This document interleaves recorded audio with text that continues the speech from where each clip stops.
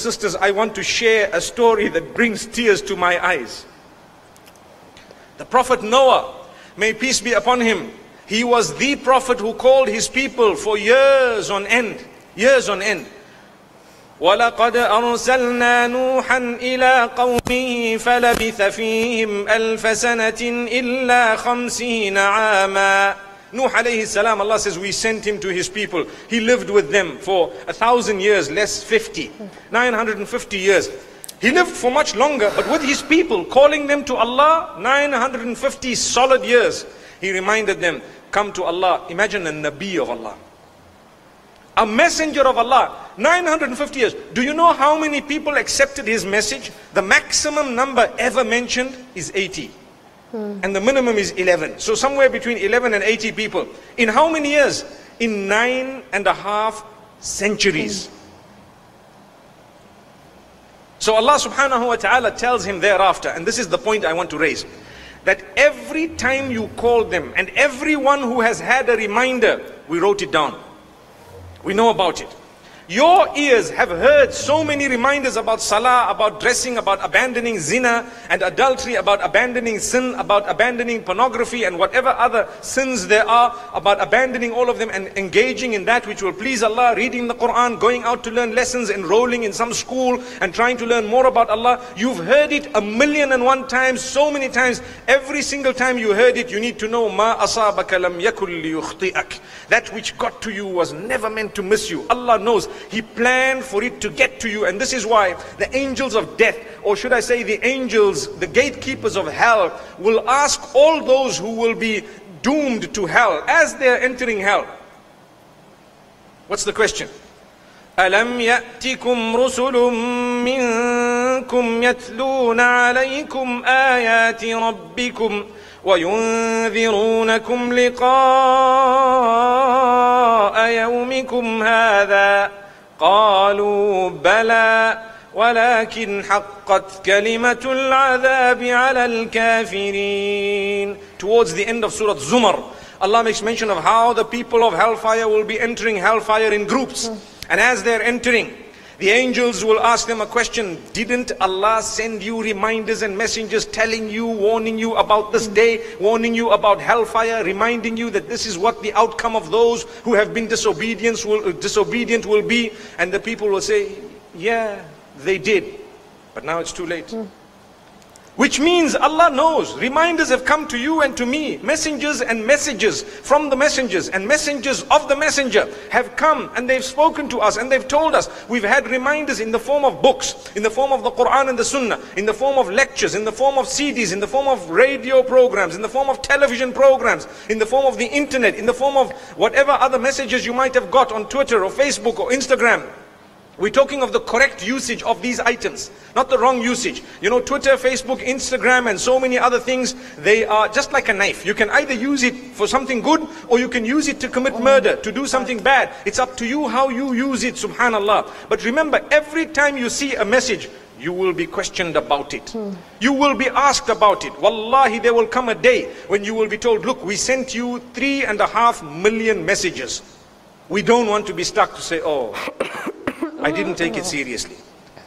Tick off your list. How many messages have you had? Start ticking today. How many messages do you have? You will tick off before you know it by the end of the year if you are really conscious of it.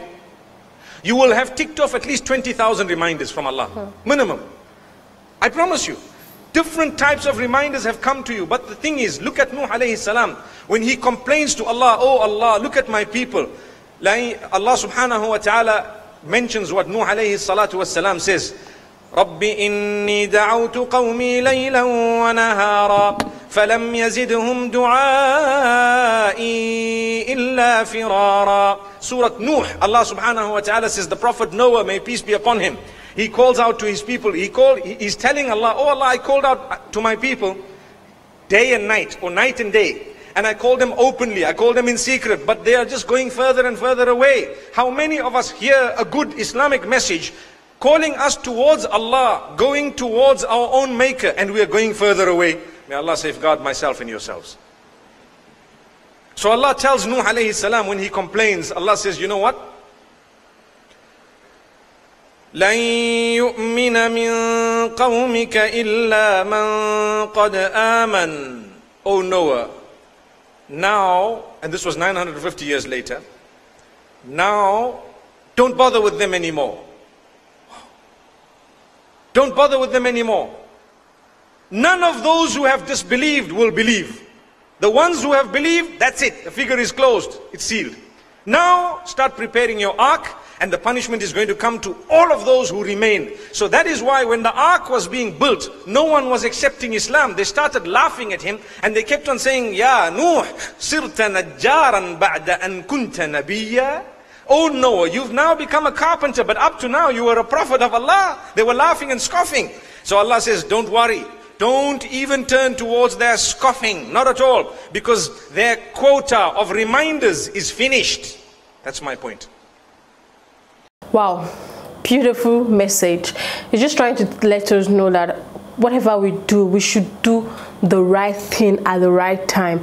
Even do the right thing always. Always do the right thing and don't follow the crowd. Don't follow what people are doing. Don't follow the trend. You know, it's good to imitate people, but imitate good things. It's good to you know follow people, you know, do as they do, but do what is good. The bad things don't don't imitate certain. So you're just trying to give um, you know an advice to everybody out there that you should know what you're doing because we are all here for for a reason, for a purpose. God brought, a, brought us here for a purpose. So we should not be distracted by what we see around the world. We should dedicate our life mostly to God by worshiping Him mostly and thanking Him mostly. So, like, he gave an example. He said, social media is a good thing facebook instagram twitter is good but if you are using it for dubious means for a bad reason then it's not right in the sight of god it's not right in the sight of God. So he's just trying to let us know that, you know, anything you're doing, you have to think very well. You have to sit down and ask yourself, what I want to do now, is it the right thing? Will this have an effect on me positively or negatively? You know the kind of friends you keep matters the kind of you know places you go to matters the kind of things you watch matters. So it's just you you know working on yourself. You know nobody can can can tell you oh don't do this don't do this. As long as, long as you've matured you you know the right from the wrong. So if you are doing something that is bad you yourself know you are doing it willingly. Nobody's forcing you to do it. So it's just trying to say that in everything we should put our goal on heaven. We should put our goal on paradise. We should not think about this worldly worldly things on this earth alone you know at the end of the day we'll go we'll leave this world. So let's do something that will pave way for us for eternal life. Not something that is just for temporary enjoyment. Enjoyment does not last long. It's fade away.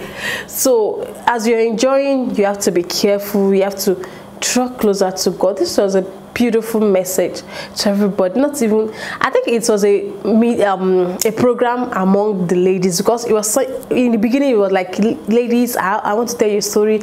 So this story is not only for the ladies this message is not only for the ladies for everybody general. Yeah.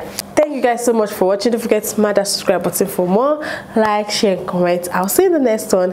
Bye